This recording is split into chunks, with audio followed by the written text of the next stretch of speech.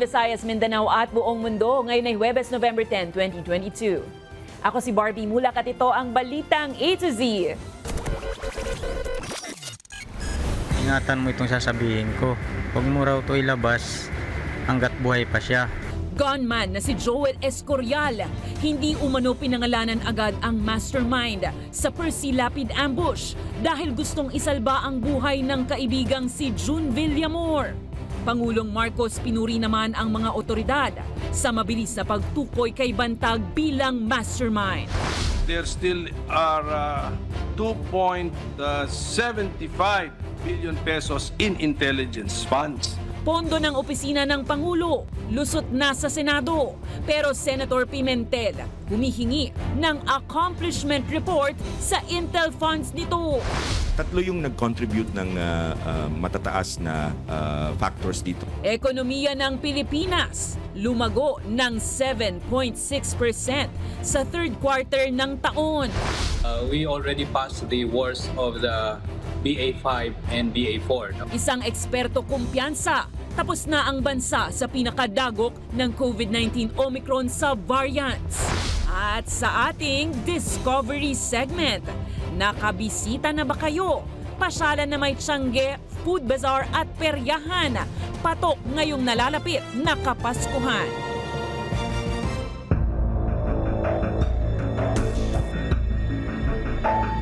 Magandang gabi, pambungad sa ating newscast. Para sana maisalba ang kaibigan na si June Villamor. Ito ang dahilan ng sumukong gunman na si Joel Escorial kung bakit hindi nito agad pinangalanan ang mastermind sa pamamaslang sa broadcaster na si Percy Lapid. Samantala, Pangulong Marcos Jr. pinuri ang mabilis na aksyon ng mga otoridad sa kaso. May balitang A to Z si Kim Salinas. Mag-iisang buwan na nang nasa kustodiya ng PNP si Joel Escurial ang sumukong gunman na pumaslang sa mamamahayag na si Percy Lapid. Nang iharap ito sa media October 18, hindi pa nito ibinunyag ang lahat ng nalalaman. Nagbabaka sakali kasi itong mailigtas pa ang kababatang kaibigan at nagsilbing middleman sa ambush na si June Villamor. October 16, alas 8 ng gabi, yun ang sinabi niya. Ingatan mo itong sasabihin ko. Huwag mo raw ito ilabas hanggat buhay pa siya. Kasi nga daw po, mataas na tao yung nag-utos nito. Ramdam niya na napapatayin daw sila siya doon pag alimbawa sumingaw nga yung trabaho na galing daw doon sa bilibid. Pero sa paglutang ni Escurial, namatay naman si Villamor sa loob ng bilibid. Siyempre, nasaktan ako dahil matalik kong kaibigan yun. eh. Simula pa lang nung doon pa sa probinsya namin. Sinadya talaga pagpatay. Kasi malakas yun eh. Ang lusog-lusog ng katawan nun.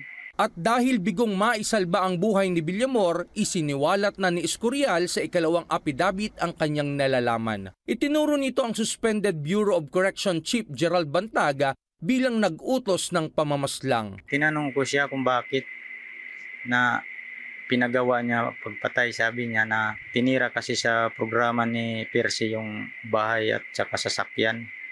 Nasaktan daw po si Bantag kaya nagutos na ipapatay si Percy. Pinuri naman ni Pangulong Bongbong Marcos Jr. ang mga otoridad sa mabilis na pagtukoy kay Bantaga bilang mastermind. DOJ Secretary Remulla and DILG Apalos. And ano naman, ah, sabi nila, mukha talagang ito yung ano eh, he is the one who ordered the killing, he is the one who at least been doing it in prison. Para siyang just daw sa loob ng president. So, we'll have to look into it further. There might be more cases. Pero nilinaw rin ng Pangulo na nagpapatuloy ang investigasyon na sa kaso ni Lapid. Una na rin kasing sinabi ng pamilya Mabasa na posibleng may mas mataas pang personalidad na sangkot rito. The investigation's not over, so we cannot uh, we, we we cannot say we know everything about the case yet.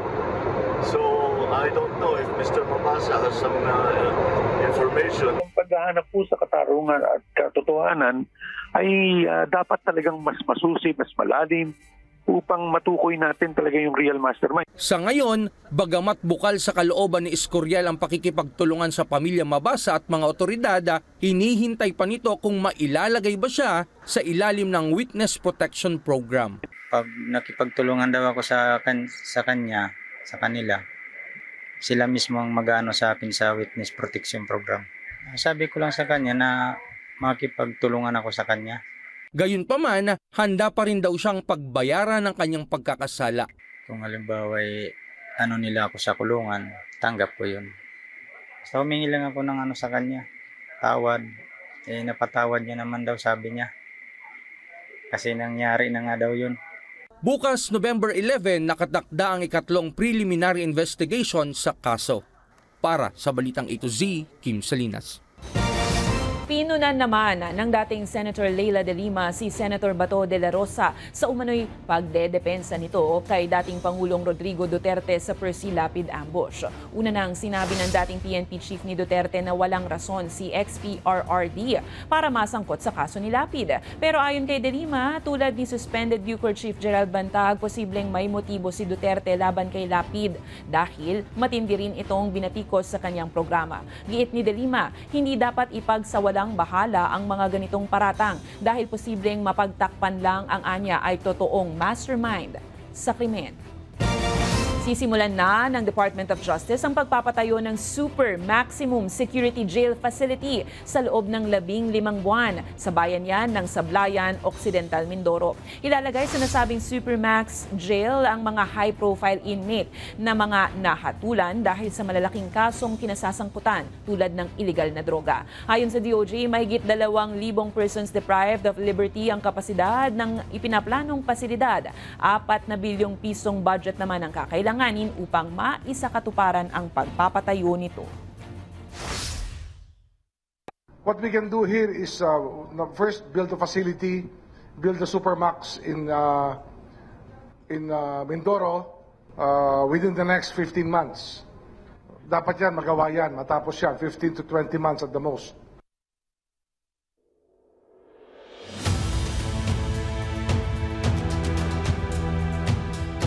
Lusot na sa Senado ang panukalang 8.9 billion peso budget ng opisina ng Pangulo. Ito ay sa kabila ng mga tanong ng minorya ukol sa con- confidential at intelligence funds na nakapaloob rito. May hiling naman si Senator Pimentel sa ngalan ng transparency. Alamin kung ano sa ating balitang A to Z. Inaprubahan na ng Senado ang panukalang 8.9 billion peso budget ng Office of the President para sa 2023. Pero bago yan, sa plenary debates, kinwestiyon ni Senate Minority Leader Aquilino Coco Pimentel ang alokasyon ng malaking confidential at intelligence funds sa opisina ng Pangulo. There still are uh, 2.75 billion pesos in intelligence funds. This time lodged in lodged in uh, intelligence agencies. So if uh, if the president and or the office of the president is a user, consumer of intelligence, aren't the 2.25 billion pesos lodged with the office of the president better lodged in the uh, inte- intelligence agencies? Depensa naman ni Finance Committee Chairman Senator Sonny Angara. Deserve ng Pangulo ang maayos na intel bilang Commander-in-Chief ng Armed Forces of the Philippines at Chairman ng National Security Council. The buck stops with him, Your Honor. So if uh, there is one person who needs access to good intelligence or information in the whole country, then I, I think there's no, there should be no argument that it is the, uh, our, our, uh, our president, uh, Your Honor, because uh, he's responsible. I mean, even things which are not his fault are blamed on him. So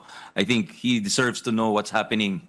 And given we are an archipelago of 7,000 islands with uh, uh, so many dialects, so many regional agrupations, so many kingpins, uh, uh, to put it not so subtly, Your Honor, uh, who try to exert their will in their areas of jurisdiction or power, then I think the president really to maintain order needs access to reliable information, Your Honor. Iminungkahi naman ni Pimentel na magsumite ng accomplishment report ang OP kung paano ginamit ang Intel funds. Bagay na sinang-ayunan naman ni Angara. Are we open to including the Congress as recipient of the periodic accomplishment reports, uh, Mr. Mr. President? Ang point ko, if it's if it's on the accomplishment, not on who on who received the peso or the amounts, the, the identity of the informer will remain confidential. Palagay ko okay naman ho yung ganun. Dahil so far, na- maganda naman ang nakikita nating ah, ah, relationship between the executive and the legislative so far. Sa huli nagparating ng pagkabahala si Pimentel sa pagbibigay ng malakihang confidential at intelligence funds sa iba't ibang sangay ng gobyerno dahil sa panganib na dala ng kakulangan sa accountability at transparency.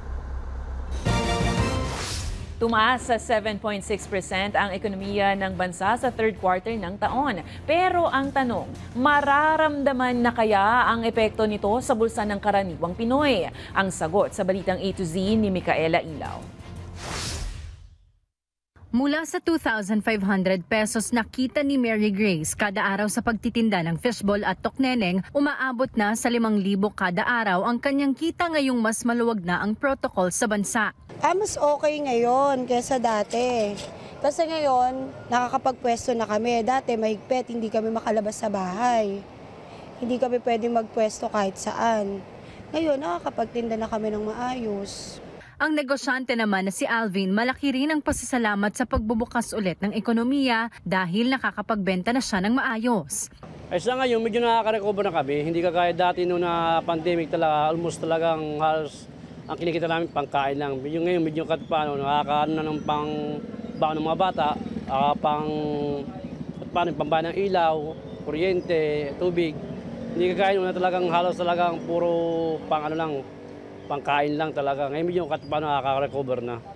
Sa datos ng Philippine Statistics Authority kanina, tumaas sa 7.6% mula sa 7.5 ang Growth Domestic Product o GDP ng bansa sa third quarter ng taon. Ayon sa National Economic Development Authority, malaki ang naitulong sa pag-usbong ng ekonomiya ng pinalawag na protocols at travel restrictions, umpisa ng face-to-face classes at pagbabalik sa opisina ng mga empleyado. That the major source of growth uh, from the demand side is uh, is your household consumption ex, uh, expenditure no? And uh, but we also see quite uh, important contribution there of uh, investment Manuf- as industry uh, uh, is still quite respectable Ikalawa ang Pilipinas sa Southeast Asia na may mataas na GDP growth sunod sa Vietnam. Ilan sa mga contributor ng GDP growth ay ang agrikultura, industry at services. Tatlo yung nag-contribute ng ah, ah, matataas na ah, factors dito sa pag-angat ng household final consumption expenditure natin sa third quarter 2022. Ang una, ah, yung restaurants and hotels. Ah, tumaas siya ng 38.2%. Ah, tapos transport, 20.5%.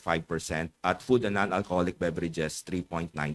So yung top two, ito yung related sa tourism, mobility. So ito yung ah, medyo nag-push ah, doon sa ah, 8.0% growth doon sa household final consumption expenditure. Sa kabila ng pag-usbong ng ekonomiya, aminado ang NEDA na hindi pa ito gaanong maramdaman ng mga Pinoy dahil sa epekto ng inflation o pagmahal ng mga bilihin.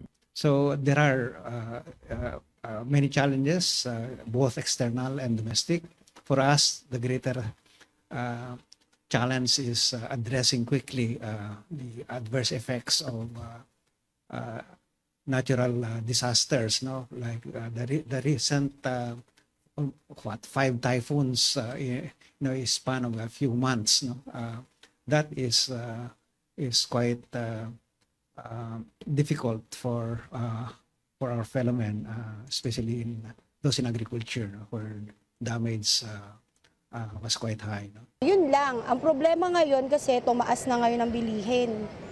So, nadagdagan ngayon yung puhunan, na, puhunan namin. Dati, ang puhunan lang namin is 2.5. Ngayon, 3.5 na. Nakatutok na ngayon ang NEDA para maibsan ang epekto ng inflation. Dahil babala ng ahensya, posibleng mas malaki pa ang hamon nito sa taong 2023. Para sa Balitang A to Z, Micaela Ilaw.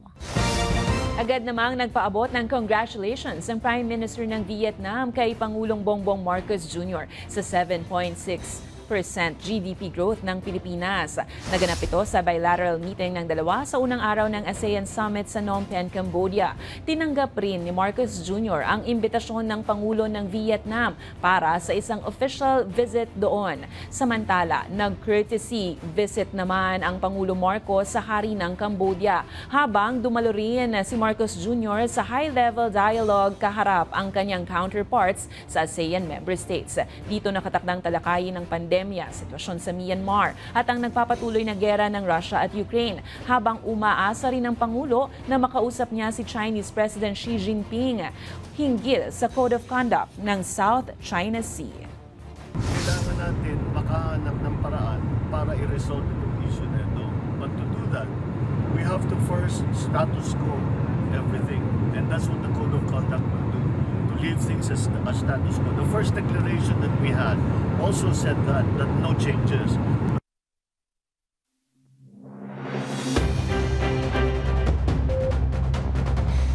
Status quo muna o walang paggalaw. Ito ang tiniyak ng pamunuan ng LRTA o Light Rail Transit Authority na may hawak sa LRT Line 1 at Line 2 na walang magiging paggalaw sa pasahe nito. Nilinaw ni LRTA Administrator Attorney Hernando Cabrera, may mga proposal para sa aumento sa pasahe pero bahagi lang ito ng corporate planning ng LRTA.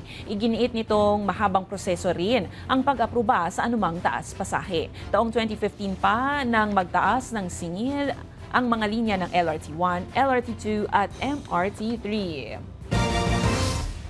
Susunod, dagok ng wave ng COVID-19 Omicron sa variants sa bansa, tapos na nga ba? At sa iba yung balita, Russia, pinaatras na nga ba ang puwersa nito sa Kherson? Abangan ang kumpletong ulat sa pagbabalik ng Balitang A to Z.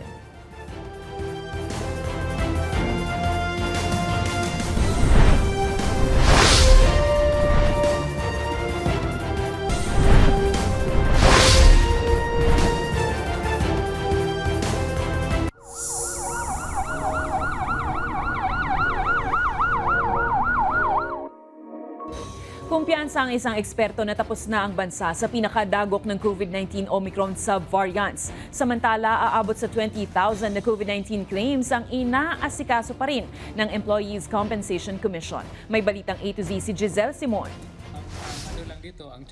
Naniniwala ang isang eksperto na nakalagpas na ang Pilipinas sa pinakamalalang COVID-19 infections na dala ng highly transmissible ng Omicron subvariants uh, we already passed the worst of the BA5 and BA4 no? So ibig sabihin nalampasan na natin yung uh, yung tinatawag natin na wave. Ayon pa kay infectious disease expert Dr. Ronjin Solante umaasa ito na patuloy na bababa ang kaso ng COVID-19 sa bansa. We also developed some form of population immunity uh, nakukuha natin doon doon sa mga na-infection. Nag-develop na ng antibody no against BA5 And doon naman sa mga kumpleto ang bakuna at na-booster, tuloy-tuloy din ang protection. Sa huling tala ng Department of Health, nasa mahigit 16,500 na lang ang aktibong kaso ng COVID-19 sa bansa, pinakamababa simula noong Hulyo. Hindi na pumalo like uh, more than 2,000 unlike uh, 2 to 3 months ago, nananatili na lang tayo between 1,000 and 1,500. No? So uh, in highly populated regions, kagaya ng National Capital Region, uh, tuloy-tuloy naman na bumaba ang mga kaso na less than 1,000, including highly populated regions or cities like Cebu, Iloilo, and Bacolod, including Davao na medyo very uh, drastic, no? Uh, significant ang pagbaba. No? Samantala, umaasa naman ng eksperto na magtutuloy-tuloy ang pagbaba ng kaso ng COVID-19 habang nagpaalala naman ito sa publiko na manatili pa rin sumunod sa health protocols. Hopefully, in the next uh, weeks, uh, sana, no? so sana, kung wala mang new variants of concern or sub-variants ng Omicron na makapasok, kung ang BA.5 lang ang pag-usapan natin, hopefully tuloy-tuloy na na magiging uh, mababa ang mga kaso natin. Samantala, tiniyak naman ngayon ng Employees Compensation Commission na patuloy nilang inaasikaso ang mga claims para sa mga manggagawang tinamaan ng COVID-19. Ito'y kahit pa itinigil na nila ang pagbibigay ng cash assistance sa mga bagong claims. So ang pinoproseso po namin ngayon ay yung mga claims from October uh, to October to December 2021. No, tuloy-tuloy po yung pagproseso ng claims pagdating sa sickness benefits, sa funeral benefits, pero yung pong uh, ating cash assistance, medyo nahinto lang po. Ah. Pero just the same, uh, pinaproseso po namin yung mga pending claims na nailodge na po dito sa aming opisina. Nitong Hulyo, sinabi ng ECC na humigit kumulang 24,000 na manggagawa ang nakinabang sa 10,000 pesos na COVID-19 cash aid, habang may 20,000 claims pa ang kanilang inaasikaso sa ngayon. Para sa balitang A to Z, Giselle Simon, Tututukan ng bagong talagang Undersecretary Camilo Cascolan ng Department of Health and ang field operation ng kagawaran, partikular na sa regional at local level sa Visayas Region. Pahayag pa ni Undersecretary Cascolan na handa siyang maglingkod saan man anya siya ilagay at gustuhin ng pamunuan. Dagdag pa nito, lahat naman anya ay may karampa, karapatang bigyan ng pagkakataon upang maipakita at mapatunayan na karapat dapat sa posisyon. Maalala ang maraming bumalik matikos kay Kaskulan na itinalaga sa pwesto dahil wala naman raw siyang medical degree. Just observe me. If I if I'm not good, if I don't do well, well, I will be the first one to get out of you.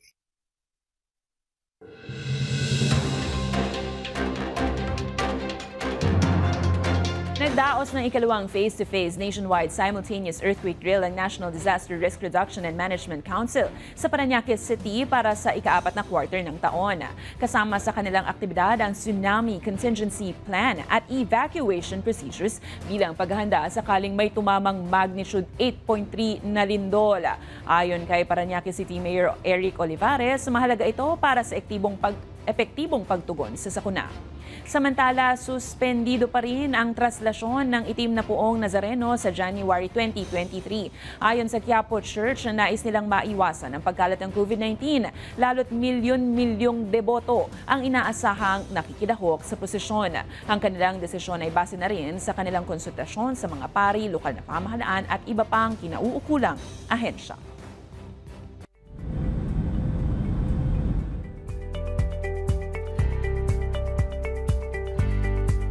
Russia, pinatras ang puwersa nito sa Kherson, Ukraine duda sa hakbang ng Moscow. Habang US at Japan, sinimulan na ang joint military drills. May balitang A to Z overseas si Billy Torres.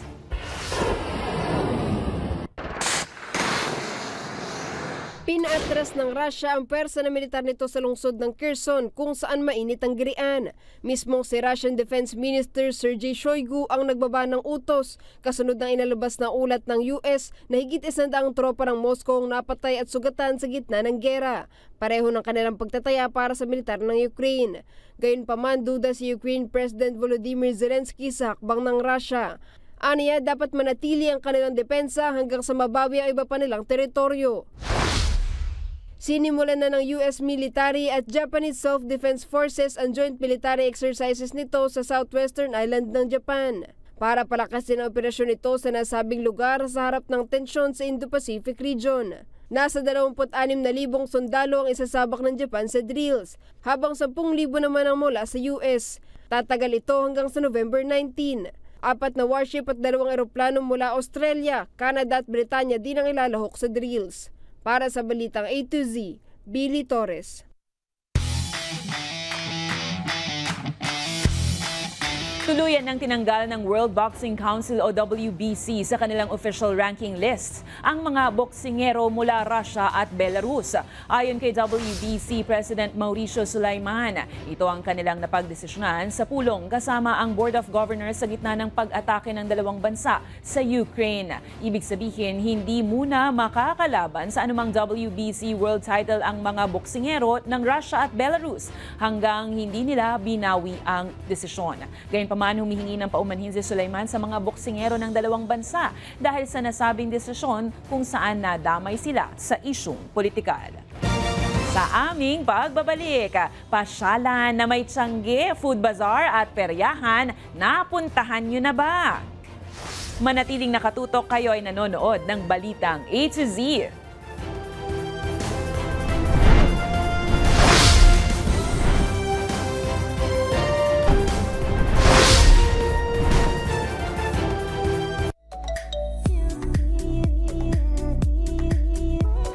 showbiz balita, American cover band na Vo- Vo- Voice Avenue balik Pinas para sa kanilang Valentine's concert sa susunod na taon. Babalik ang Boys Avenue sa Pilipinas sa Pebrero pero para magtanghal ng tatlong palabas sa Manila, Cebu at Davao. Tatlong local artist ang makakasama nila. Ang singer na si Adi or Adi at bandang Nobita at Takwans na tanging sa Manila concert lamang makakasama. Nakatakdang mag-perform ang banda sa Manila sa Araneta Coliseum sa February 11. Susunod ang Waterfront Hotel sa Cebu sa February 12 at sa araw mismo ng mga puso, February 14 sa SMX Convention Center sa Davao para sa huling destinasyon. Nakilala ang Boys Avenue sa paggawa ng covers ng iba't ibang awitin na pinopost nila sa kanilang YouTube channel.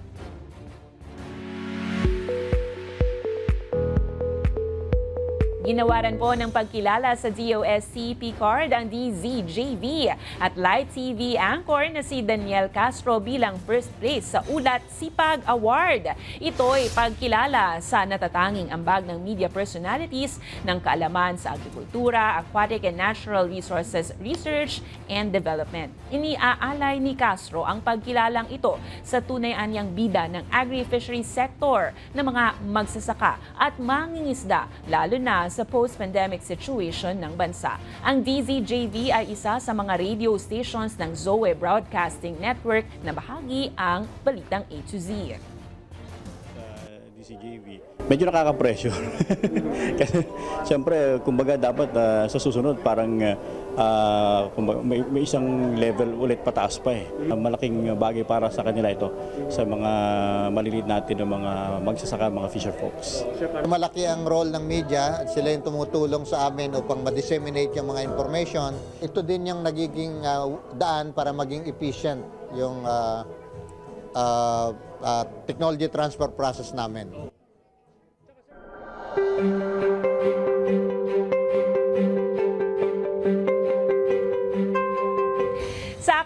Isa't kalahating buwan bago magpasko, ramdam na ang Christmas spirit sa Marikina City. Salamat sa muling pagbubukas ng Christmas Saya, Bazaar and Carnival. May balitang A to Z si Ace Cruz.